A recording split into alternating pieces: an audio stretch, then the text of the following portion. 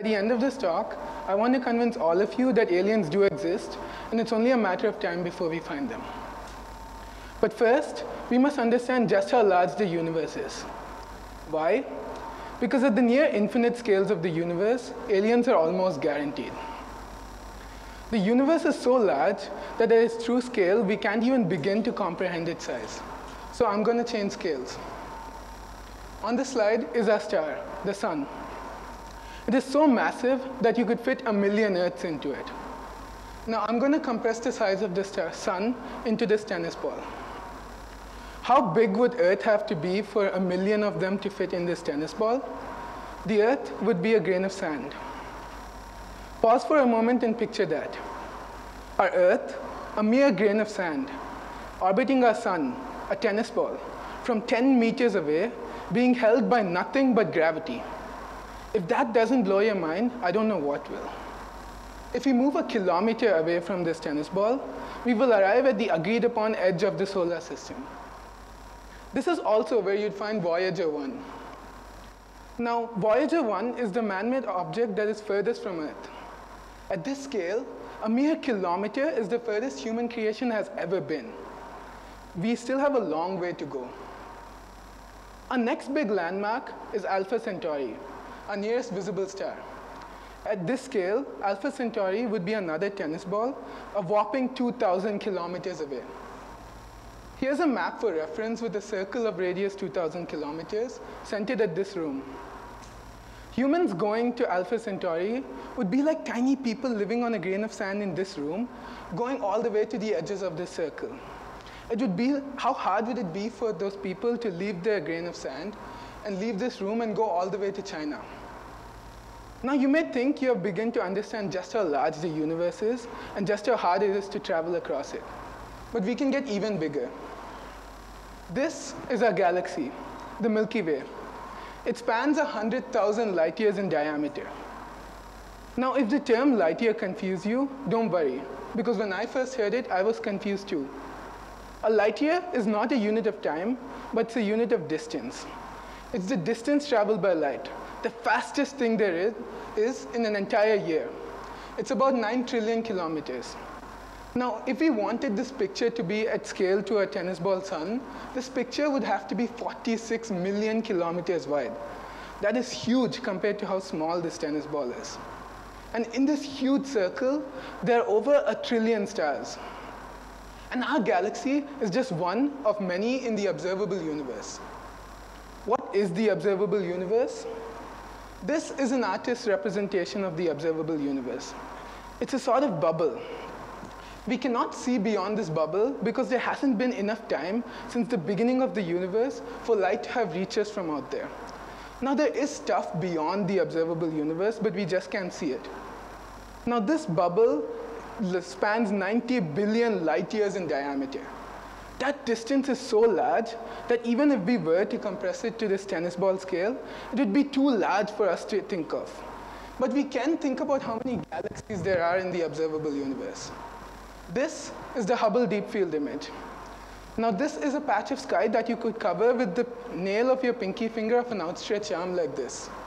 Now that small patch of sky was observed by the Hubble Space Telescope for 11 days, and it took 400 pictures of it. This picture is the culmination of all of those pictures. Now the amazing thing about this picture is that except for two points of light, every single point is an entire galaxy. There are galaxies everywhere. Even the dark areas, if we look hard enough, we will see something like this. And each of these galaxies have trillions of stars. And scientists have just begun to find planets around these stars. How? So when a planet orbits a star, the star wobbles in its place slightly.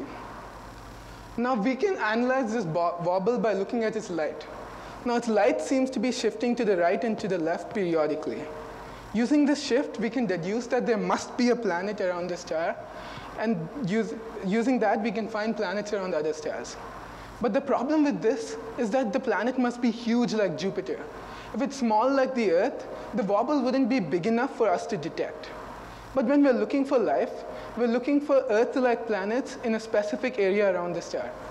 This area is called the habitable zone. The habitable zone is the area around the star where it is not too hot and not too cold, but just right for the secret ingredient of life to form, liquid water.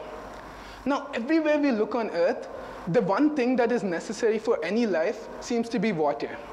So, and due to water's unique properties, we believe that water is essential for life everywhere.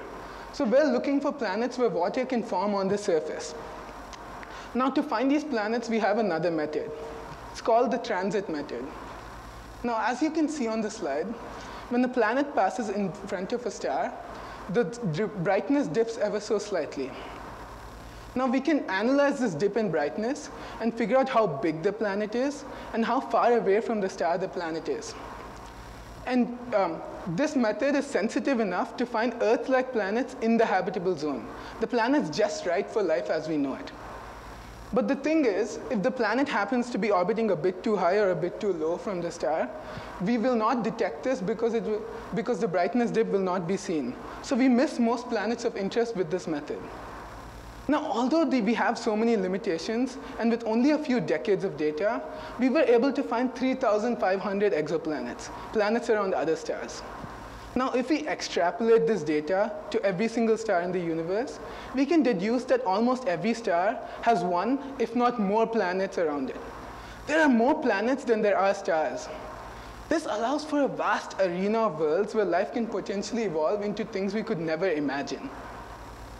Now the thing about these methods is that they help us find planets where there could potentially be water, which means that there could potentially be life on it.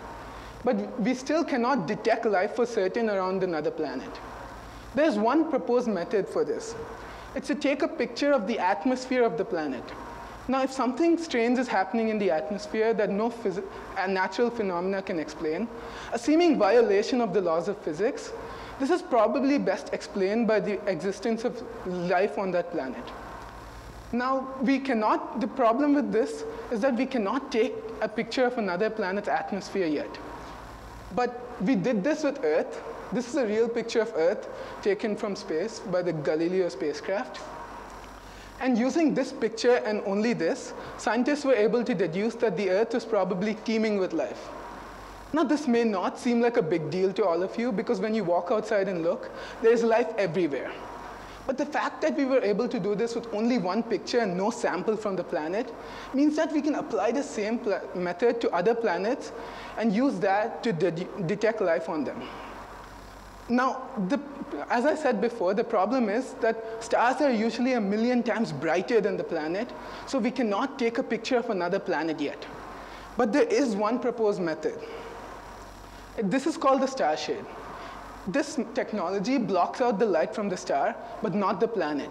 So we can take a picture of the planet without the glare from the star. Now this technology will be in the telescopes to follow Hubble and Kepler. And when they are in space, we will probably hear the first news of detection of life. Now this shouldn't come as a surprise given the sheer number of planets out there. And this life will probably be unintelligent life the kind of life that does not use technology but simply survives on the surface. But in this talk, we're interested in the kind of life we could communicate with, intelligent life. Now, in theory, intelligent life should be much easier to detect because they would be broadcasting some sort of signal of their existence.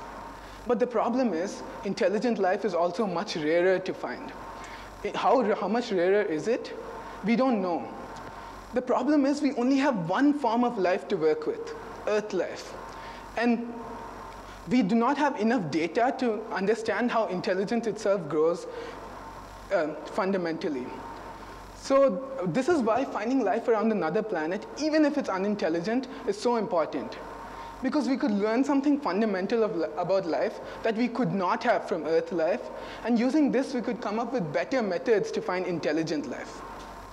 Now the astronomer Frank Drake came up with an equation for the number of alien civilizations there should be in a given area of space. This is the Drake equation.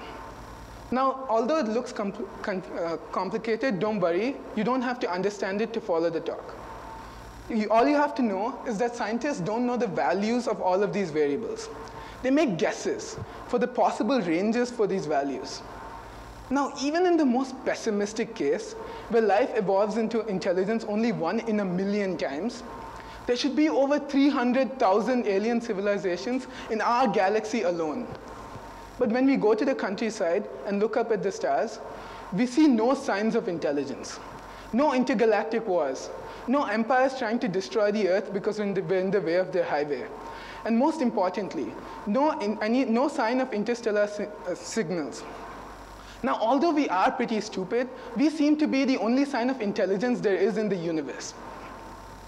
Where are the aliens? Our science says they should be everywhere, but they aren't. This is the great problem in the search for life, and it is so important it even has a name. It's called the Fermi question. Now, there are many possible explanations to this apparent lack of life, from intergalactic conspiracies to empires ruling the galaxy in hiding, destroying any civilization that comes in their way. But I'm going to talk about the few most probable explanations to this.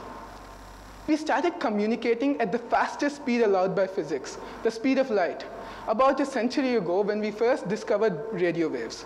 This is when we were broadcasting signals of our existence into space at the speed of light.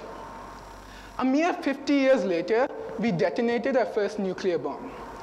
For the first time in human history, we had the ability to destroy every last one of us. Now, the first explanation to the Fermi question goes something like this. Every time an intelligent civilization arises, it will destroy itself faster than it can move out of its planet and communicate its existence. Now, the second explanation is that aliens are probably far more advanced than us and have come up with technologies and discovered physics we haven't yet. So even if they're communicating in signals using that physics, even if they're passing Earth every single day, we would not detect them because we don't know they exist. But my favorite explanation is the limitation in space and time. Now, the universe is very large and time is very long. But there hasn't been enough time since the potential existence of life for any signal to have reached us yet. This is best demonstrated by our own signals. That tiny yellow dot, which is magnified in that rectangle, is our radio bubble. This is how far our radio waves have traveled into space. This is the extent of human influence. Beyond that bubble, any alien civilization would not know we exist. As you can see, we have barely even begun to reach the ends of the galaxy, forget the universe. This could be the case with other alien civilizations living in their own tiny radio bubbles scattered across the galaxy. And it could take centuries, if not millennia, before we hear the first signal from aliens.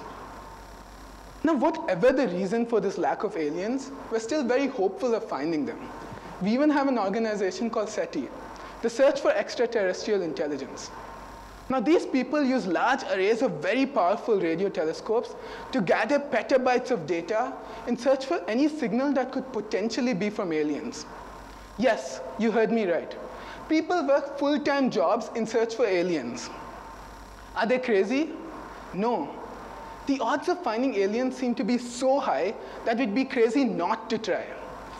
The annual budget of SETI and NASA combined in their alien searches is slightly over a billion dollars.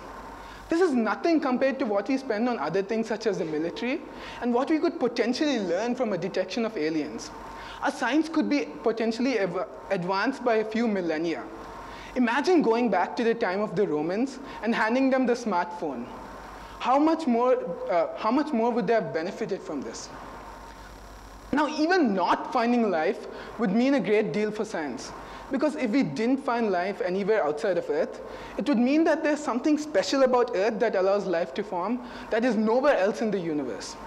If we figure out what that is, we would learn something fundamental about the origin of life, which would revolutionize biology and even medicine. Now, perhaps the most important reason to look is our inherent curiosity to know more. We cannot quench our thirst for knowledge, especially when we are this close to knowing. With that, I'd like to leave you with this picture. It was taken by Voyager 1 25 years ago when Voyager 1 first uh, looked back at Earth for one last time and took this picture. That tiny dot is how our planet looks out from there. Now, Carl Sagan, the astronomer, said something very profound about this, and I quote, Look again at that dot. That's here. That's home. That's us. On it, everyone you love everyone you know, everyone you've ever heard of, every human being who ever was and lived out their lives, the aggregate of our joy and suffering, thousands of confident religions, ideologies, and economic doctrines, every hero and coward, every king and peasant, every creator and destroyer of civilization, every superstar, including Rajnikant, every supreme leader, every saint and sinner in the history of our species lived there on a mote of dust suspended in a sunbeam. Ladies and gentlemen, tonight after the sun sets, I ask you to walk outside and look up. Even if you can't see them, think about the trillions of stars out there. Many orbited by motes of dust just like our own, each with their own histories, ideologies, and discoveries. The universe is filled with stories to tell, and all we have to do is listen. Thank you.